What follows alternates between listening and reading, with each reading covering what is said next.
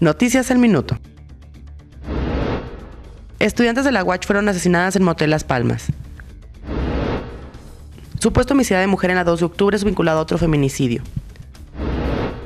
Se despide Miguel Jurado de Acción Nacional.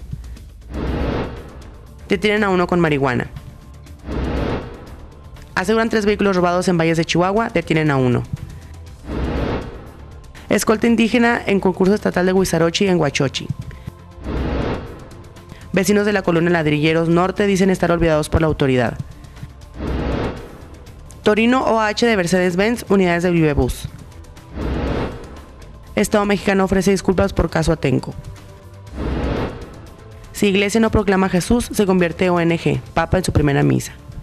Para más información, visita el diario de Chihuahua.mx.